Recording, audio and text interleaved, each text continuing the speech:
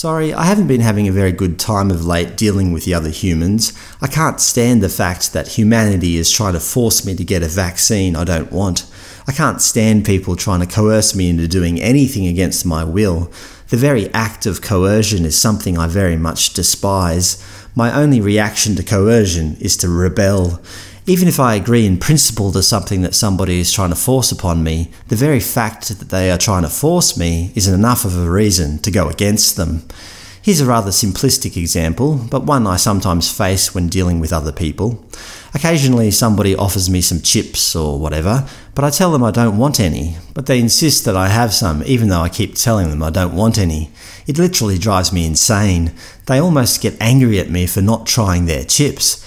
I've never understood that logic. Why are they so eager for me to try their chips? Even if they succeed in making me eat their chips, they've done it against my will, and I'm just left with feelings of resentment.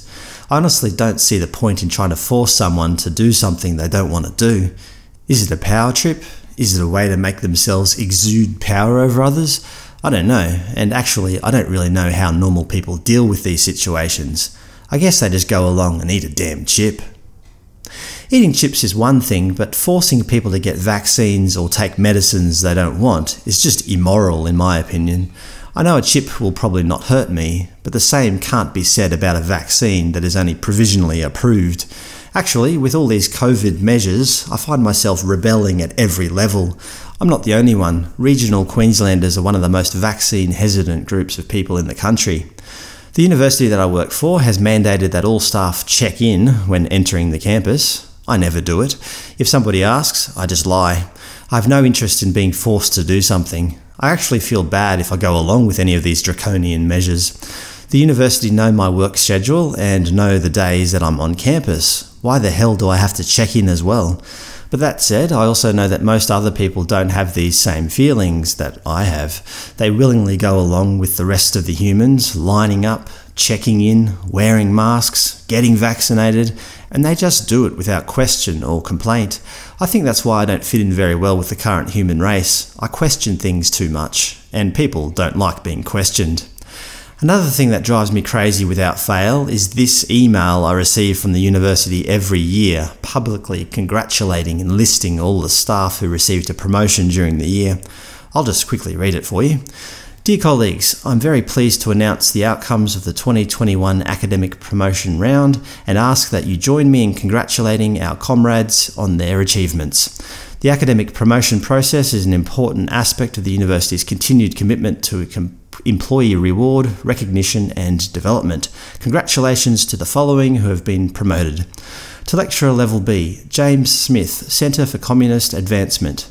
Catherine Jones, School of Socialism, Fiona Darwin, Propaganda Services, to Senior Lecturer Level C, Tom Sin, School of Political Messaging, Aaron Healy, School of Civil Conditioning, Kate James, College of the Interior, to Associate Professor Level D, Liz Bracken, School of Doublethink, Christy Brown, School of Social Justice, Peter Browski, School of Democratic Dilution, Stephen Dawn, School of Re-Education, and John Shale, College Internment.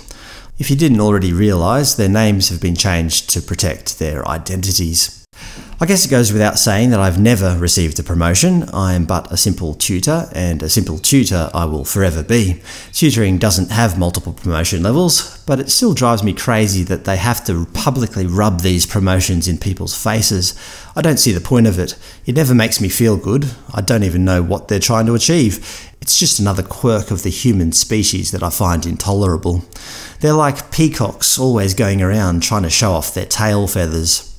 By the way, on a lighter note, I bought my very first house recently. Well, a unit, an old unit, but it is mine and I bought it outright. We're looking to make it more homely by getting some new carpet and ceiling fans and so on.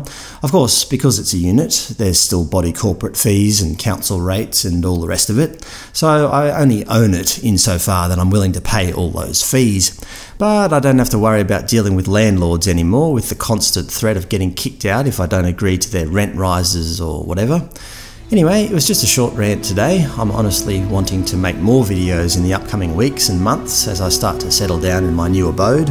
I now realise that I'm just not very good at dealing with the other humans in the workplace and elsewhere, so making videos is something that I can do without having to have too much human contact.